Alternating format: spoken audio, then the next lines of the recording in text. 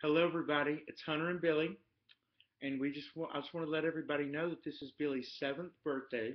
He has the same birthday as Beyonce, and today we've just been celebrating Joan Rivers' life because, as you know by now, she passed away today, and we have been watching everything about her on Netflix. In between watching Dallas and dealing with Garth Brooks's um, extravaganza. Billy, I'd like to say thank you so Billy got a new Nylabone today.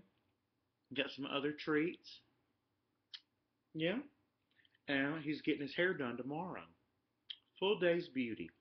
Happy birthday to the baby.